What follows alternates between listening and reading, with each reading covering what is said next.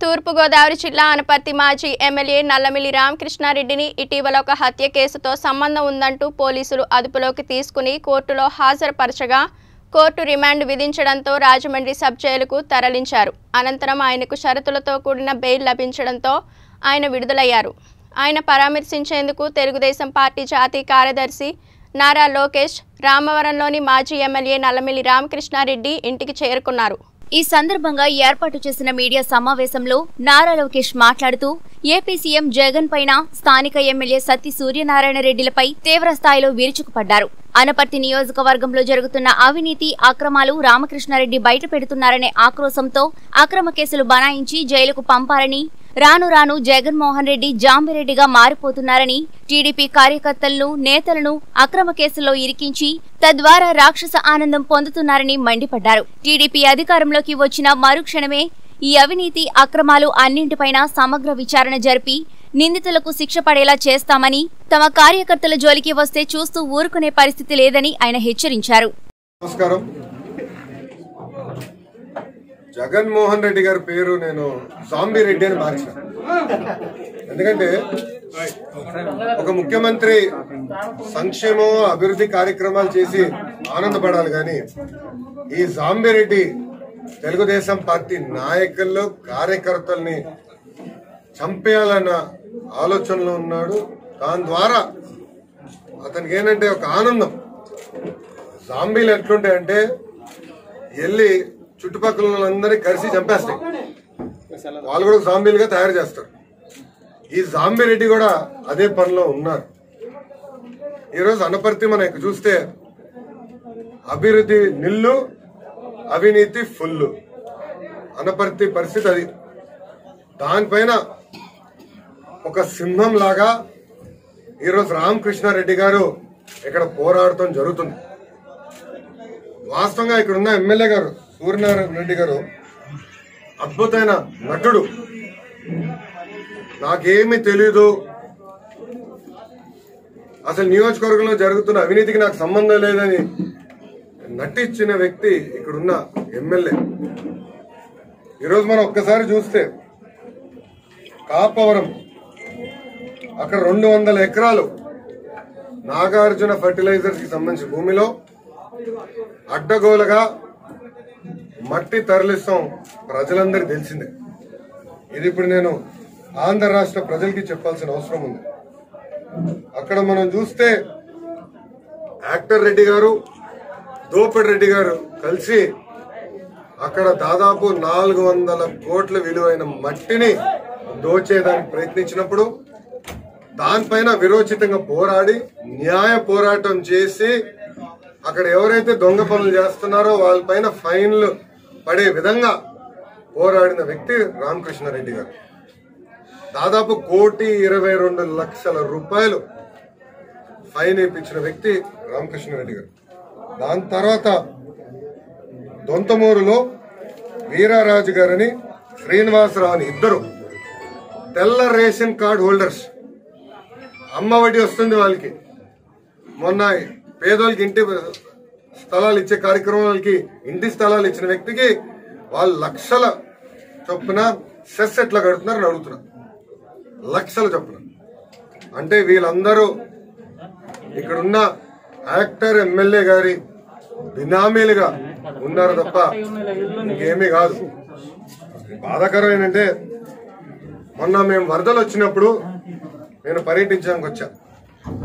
ఆ రోజు పద్దెనిమిది ఎకరాలు నాకు చూపించాడు పైన హెచ్టీ లైన్ ఉంది కిందేమో గ్యాస్ లైన్ ఉంది. అంటే అక్కడ ఇల్లు కట్టుకోలేము. అలాంటి భూమిని కావాలని ఎక్విజిషన్ పెట్టి ఐదు లక్షల విలువైన భూమిని అరవై లక్షల రూపాయలు కొనడం జరిగింది. ఆ ఒక్క దాంట్లో అంటే ఆ ఒక్క భూమిలో దాదాపు ఐదు కోట్ల రూపాయలు ఈ యాక్టర్ రెడ్డి గారి జోబులోకి డబ్బులు వెళ్తాం కూడా ప్రజలందరికీ తెలిసిన విషయం అంతేకాకుండా మీరు ఇక్కడ చూస్తే బేకాట డెన్ను కూడా మారిపోయింది. మీడియా మిత్రులు అందరూ తెలుసు. నెలకి యాభై లక్షల రూపాయలు ఈ యాక్టర్ రెడ్డి గారికి నెలలో కడుతున్నారు. మీ అందరికి తెలిసిన విషయమే. ఇంకో పక్కన పామాయిల్ రైతులు కూడా ఇబ్బంది పడితే వాళ్ళకి నేను న్యాయం చేస్తానని వెళ్ళిన యాక్టర్ రెడ్డి గారు కంపెనీల దగ్గర రెండు కోట్ల రూపాయలు ఆయన తీసుకుని యాభై లక్షలకు అమ్మేశారు రైతులు కేవలం యాభై లక్షల రూపాయలు. ఐదు కోట్లు ఇవ్వాల్సింది రైతులు యాభై లక్షల రూపాయలకి అమ్మేశారు. ఇది చాలా బాధేస్తుంది అంటే ప్రజల పైన కూడా రైతుల పైన కూడా ఎలాంటి భారం మోపుతున్నారో ఇవన్నీ మనం ఒకసారి ఆలోచించాలి. ఇంకో పక్కన సొంత బావమరిది కాలేజీకి ఇరవై కోట్ల విలువైన భూమిని కబ్జా చేసి దాదాపు వంద కుటుంబాలు బయటకు గంటేశారు. దాంట్లో అక్కడ ఎవరైతే ఉన్నారో ఆ భూముల్లో వాళ్ళు రానికుండా కూడా అడ్డగోడ గోడ కడితే అరుణ కుమారి గారని ఒక ఆమె ఆత్మహత్య చేసుకుంటూ ఉత్తరంలో రాసింది. నేను ఆత్మహత్య చేసుకున్న కారణం ఇక్కడ ఉన్న ఎమ్మెల్యే సూర్యనారాయణ రెడ్డి అని కూడా ఆమె పేర్కొనడం జరిగింది. కానీ ఇప్పటి వరకు ఆయన పేరు ఆయన పేరు ఎఫ్ఐఆర్లో కానివ్వండి ఎలాంటి యాక్షన్ కానీ ఇప్పటి వరకు తీసుకోలేదు. చివరికి మీరు చూస్తే ఆనాడు కరోనాని కూడా క్యాష్గా మార్చుకున్నారు ఎమ్మెల్యే. ఏం చెప్పాలి?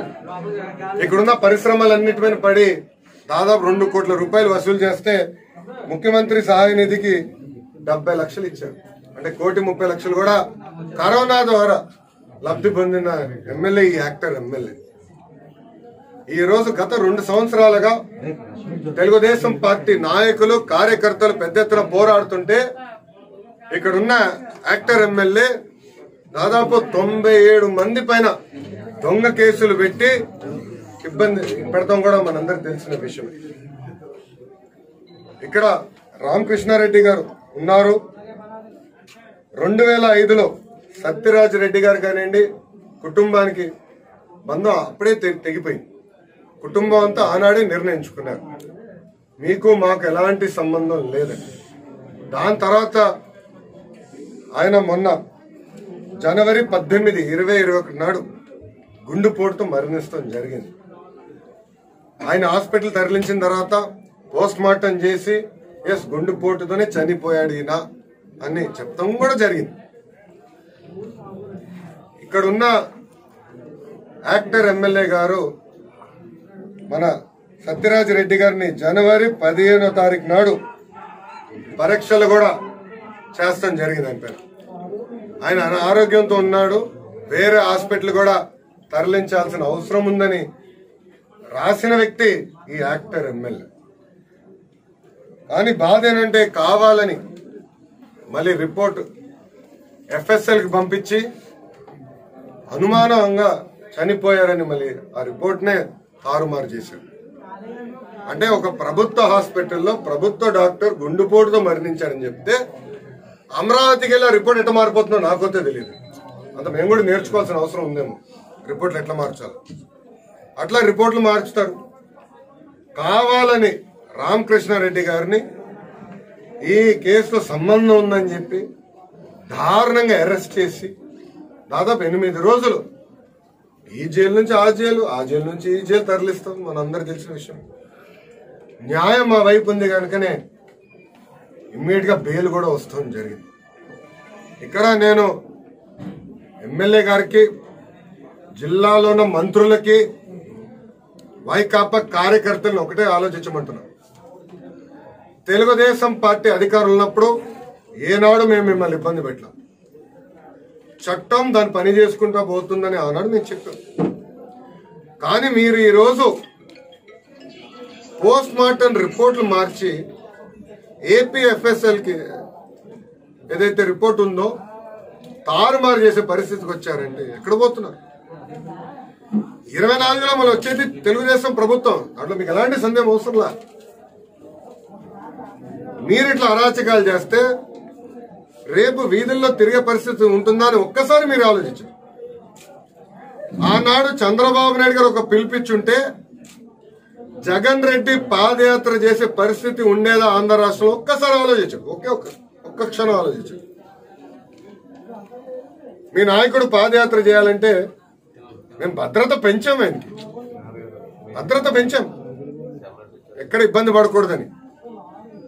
మీరు మా ఎమ్మెల్యేల పైన మా నాయకుల పైన కార్యకర్తల పైన దొంగ కేసులు బనాయిస్తే మేమేదో భయపడిపోతామేమో పారిపోతామేమో తలదించుకుని బతుకుతామనుకుంటున్నారు చాలా పొరపాటు పడుతున్నారు మీరు.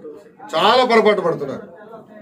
జగన్ రెడ్డి తాత జగన్ రెడ్డి నాన్న తెలుగుదేశం పార్టీని ఏం పీకల? జగన్ రెడ్డి వల్ల అసలు అవునే కాదు. ఏమి పీకలేడు. గుర్తుపెట్టుకోండి. టైం డేట్ రాసుకోండి. ఇది చాలా అన్యాయం. విరోచితంగా మేము అందరం పోరాడతాం. ప్రజల పక్షాన మేము నిలబడతాం. ఈరోజు రామకృష్ణారెడ్డి గారు న్యాయ పోరాటం చేసి ఈ ఎమ్మెల్యే యాక్టర్ రెడ్డి గారి పైన పోరాడినందుకు వాళ్ళ అనుచరుల పైన కేసులు వేయించినందుకు ఏకంగా వాళ్ళ చేత ఫైన్లు కట్టించినందుకు ఈరోజు ఆయన ఇబ్బంది పెడతాం. అందరం చూస్తాం గుర్తుపెట్టుకోండి పేదోళ్ళకి ఇచ్చే ఇంటి స్థలాల్లో డబ్బులు మీరు దొబ్బారు. గ్రావెల్లో డబ్బులు దొబ్బారు. ఇక్కడ ఒక మహిళని ఆత్మహత్య చేసుకునే పరిస్థితి తీసుకొచ్చింది ఇక్కడ ఉన్న ఎమ్మెల్యే. ఆ ఉసురంతా మీకే తగులుతుంది గుర్తుపెట్టుకోండి. రేపు వచ్చే తెలుగుదేశం పార్టీ తప్పనిసరిగా ఇవన్నిటిపైన మేము ఎంక్వైరీ వేస్తాం దీని వెనకాల ఎవరున్నారో కూడా వాళ్ళని వదిలి పెట్టే ప్రసక్తే లేదు అని వాళ్ళకి నేను హెచ్చరిక జారీ చేస్తూ నా పైన కేసులు పెడతారో పెట్టుకోండి. ఐమ్ రెడీ టు ఫైట్ కార్యకర్తలు జోలికని వస్తే మీ తోలు తీస్తామని కూడా ఈ వైకాపా నాయకులకి కార్యకర్తలకి నేను హెచ్చరిక జారీ చేస్తూ మీడియా మిత్రులకి అయినా ప్రశ్న ఉంటే దాన్ని నేను సమాధానం చెప్తాను. రోజు లవ్ లెటర్లు వస్తాయి మాకు. ఏముంది సీడీ నోటీస్? నేను కొత్తనా మాకు? ఏం తప్పు చేయించి చంద్రబాబు నాయుడు గారు సీఐడి నోటీస్ పంపించాడు చిప్ పక్కన పెట్టేసాను ఏముంది అందుకని సీఐడి కానీ విలువ ఉంది? ఆంధ్ర రాష్ట్ర సీఐడికి అది వైసీపీ ఐడియా అండి వైసీపీ పరిస్థితి ఏంటంటే ఆంధ్ర రాష్ట్రంలో చట్టం అమలు చేయట్లా పోలీసులు. రాజారెడ్డి రాజ్యాంగం అమలు చేస్తున్నాడు. ఎవరైతే న్యాయ పోరాటం చేస్తారో వాళ్ళ దొంగ కేసులా? ఎంత అన్యాయం చూడండి. ఇంకో చిత్రం ఏంటంటే చంద్రబాబు నాయుడు గారి సభలో ఒక వ్యక్తి పది మంది రాలేశారు. మీ దగ్గర ఆధారాలు ఉంటే వాళ్ళ పేర్లు మీకు తెలుసు మీరు చెప్పండి. అంటే ఇంట్లో దొంగలు పడితే చెప్పేది ఎవరండి? బాధ్యతలా పోలీసులతో బాధ్యత ఏం పీకుతున్నారు వీళ్ళు? ఇంకెందుకు కాకి డ్రెస్ తీసేయండి. డీజీ గారికి ఎందుకండి ఆ కాకి డ్రెస్ అనవసరం? తీసి ఆయన వేసుకోమనండి వైకాపా చొక్క వేసుకొని తిరగమనండి. ఎందుకు ఈ బాధ అంతా? ఇదేనా? ఆయన ఇచ్చే గౌరవం డిపార్ట్మెంట్కి. ఎంత అన్యాయం చూడండి ఒకసారి. ఇప్పుడు సిఐడి నోటీస్ పంపించారు. ఏముందండి? మా నాయకుడికి అలవాటు మొదటిసారి నోటీస్ వస్తే కొంత అందరూ అనుకునే వాళ్ళం ఇప్పుడు రోజుకో నోటీస్ ఇస్తున్నాడు. తీసి పక్కన పడేస్తాను ఇంకేముంది దానికని జరిగి? ఏం పీక్కెళ్తారు? ఇన్సైడర్ ట్రేడింగ్ అయిపోయా? ఇట్లా అనేక ఆరోపణలు చేసే మా నాయకుడి పైన. ఏ ఒకటి నిరూపించలేకపోయారు. రెండు సంవత్సరాలు అయింది. ఈ జాంబీ రెడ్డి ముఖ్యమంత్రి ఏం పీకాడు? ఏం పీకాడు? ఏం లేదు జిల్లా మంత్రి కన్నబాబు కామెంట్ చేశారు జగన్మోహన్ రెడ్డి తాడేపల్లి ఇంటికి వచ్చి చూసుకోవాలి రేకుల షెడ్ ఇంద్రబాబు అనేది Very good. నిమిషంలో చంద్రబాబు కట్టినట్టు మేము కట్టుకోలేదు. హూ కిల్డ్ బాబాయ్? కన్నబాబు గారి స్ట్రైట్ క్వశ్చన్ బాబాయ్ని చంపింది ఎవరు? కన్నబాబు గారు మనస్సాక్షిగా లేదా వెంకన్న సాక్షిగా ప్రమాణం చేసి చెప్తాడా? ఆయనకి ఆయన నాయకుడికి లేదా వైకాపా నాయకులకి ఎలాంటి సంబంధం లేదని ఆయన ప్రమాణం చేసి చెప్తాడా? స్ట్రైట్ క్వశ్చన్ అడుగుతున్నా.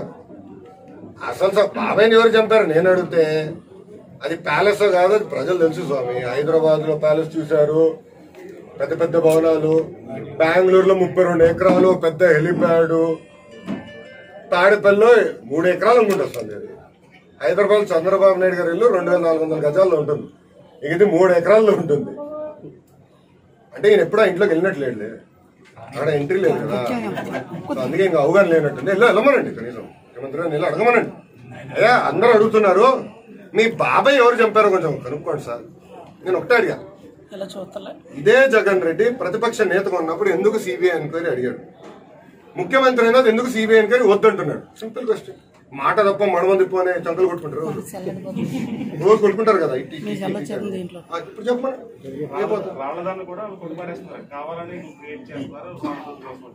వెరీ గుడ్ నా పోలీస్ వ్యవస్థ ఉందండి. ఏం చెప్పాలా? అంటే తిరుపతిలో అచ్చెన్నాయుడు కామెంట్స్ వస్తున్నాయి కదా ఏంటి అయ్యా అదంతా ట్రోల్ వీడియో. కట్ చేసి కట్ చేసి అటాచ్ చేస్తే ఎలా ఉంటుందో మీకు తెలుసు నాకు తెలుసు. నాకు అచ్చెన్నాయుడు గారికి ఎలాంటి ఇబ్బంది లే. కలిసి పనిచేస్తున్నాం తిరుపతి ఎన్నికలకు వెళ్ళాలని మేమందరం కష్టపడుతుంటే పైకాపాలు తీసుకొచ్చి వీడియో పెడుతున్నారు. సింపుల్గా. మీరే చూస్తారు కదా. గట్టిగా పోరాడుతున్నాం. తిరుపతి ఎన్నికల తర్వాత టీడీపీ క్యారీ అంటున్నారు కదా సార్ దానికి చెప్తారు? అయ్యో చాలా మంది ఇట్లనే చేశారు. అది కాదు రెండు వేల తొమ్మిదిలో ఒక ఆయన అన్నాడు. ఇట్లా అన్నాడు. ఏమైందో మీ అందరూ తెలుసు. ఓకే? ఇక దానికన్నా ఎక్కువ నేను మాడకూడదు. మంచిది కాదు ఓకే? ఇట్లా చాలా మంది అన్నారు. తెలంగాణలో కూడా దొరగారు అన్నారు. టీడీపీ పొజిషన్ అన్నారు. విలీనం చేస్తారు. మళ్ళీ ఎన్నికలు వస్తే మేము గెలుస్తాం. మళ్ళీ విలీనం చేస్తారు. మళ్ళీ మేము గెలుస్తాం. అంతే అది. అది తెలుగుదేశం పార్టీ గొప్పతనం. సో ఎవడు ఏం మిగలేడు తెలుగుదేశం పార్టీ. ఇదంతా ఆశ. చెప్పే కదా జగన్ తాత ఏం పీకలా తండ్రి ఏం పీకలా ఈయనేం పీకుతాడే బాబు? భలే ఉన్నా మా ఎంట్రీ కాదు కదా గడ్డం పైన ఇది కూడా గడ్డం కూడా పీకలేడు జిల్లాలో ఇళ్ళ స్థలాలు?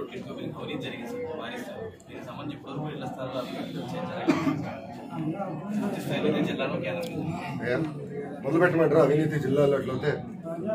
లాట్ రైడ్ దగ్గర నుంచి మొదలు పెట్టాలి అట్లయితే నేను?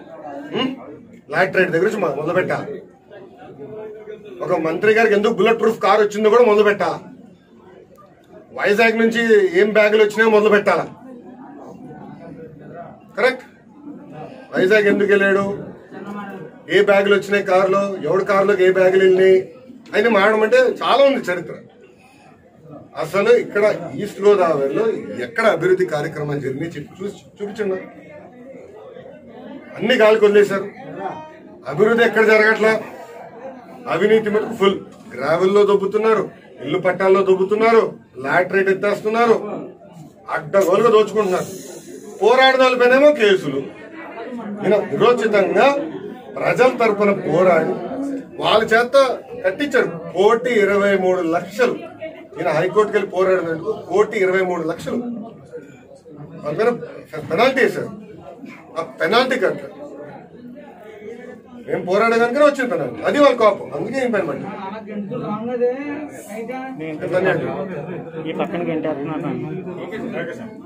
ఓకేనా? నేను సాక్షి లేడా? ఉన్నాడా? ఏమన్నా? ఉందా? రా రా రా. ప్రశ్నలోనా లేవా? నీకేం లేదా? Sir sir okay. తెలంగాణలో సరుణ్ గారు పార్టీ పెట్టేది దాని గురించి ఏం చెప్తారా? అది షర్మిల గారు అంటే మహిళల్ని అసలు అంటే సొంత సోదరుని పట్టించుకోలేదు కదా మహిళలు అసలు పట్టించుకోరంటున్నారు. అంటే బాబాయ్ చంపిన వాళ్ళు బాబాయ్ చనిపోయాడు. ఒక చెల్లిమో ఢిల్లీలో పోరాడుతుంది. పాపం పాదయాత్ర చేసిన చెల్లికేమో దిక్కులేదు హైదరాబాద్ వదిలేశాడు. సొంత చెల్లికి న్యాయం చేయలేని వాడు ఇంకా ఆంధ్ర రాష్ట్రానికి ఏం న్యాయం చేస్తాడు? ఒక్కసారి అందరూ ఆలోచన సింపుల్గా థ్యాంక్ యూ